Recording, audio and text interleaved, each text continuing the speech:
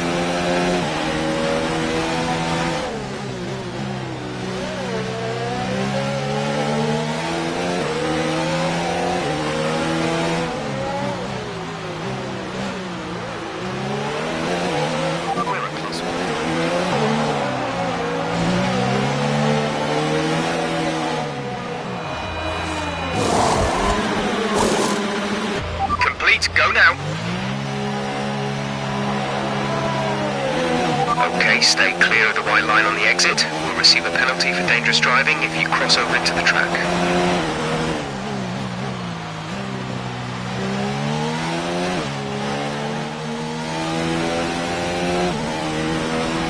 This is your final lap, final lap of the race.